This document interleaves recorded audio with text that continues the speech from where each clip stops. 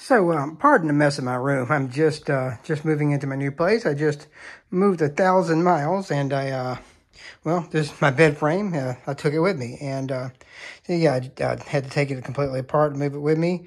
I put it back together successfully without losing any parts.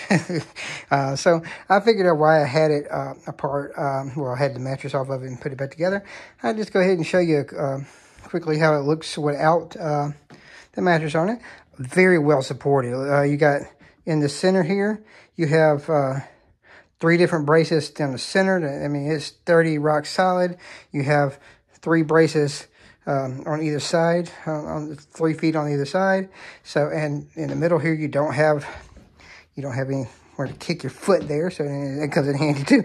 Um, very solid bed frame. Um, I've had it for a couple years now and, uh, it, it is, um, been it's been rock solid. Um, this is this is the uh, full size mattress, um, full size frame, and it um, it says about 18 inches off the ground, so plenty of clearance to slide uh, stuff under it for storage. That was very important in my apartment. Hopefully not so much here in my house, but um, yeah, uh, it's been very well. It's well put together.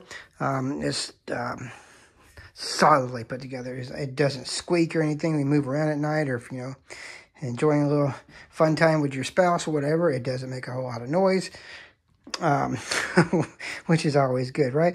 Um, so yeah, if you're if you're um, looking for a nice, solid, yet inexpensive um, bed frame, go for it. This is a great, great choice if you're putting it into a, a guest bedroom, putting it into a child's room, even putting it into your room. Or if you're you know, living in a dorm or apartment and, you know, need extra space, especially, um, great bed frame. And um, I've had no problems with it.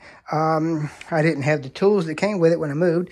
Just takes a couple Allen wrenches and like one wrench um, put together. Um, and I would, um, yeah.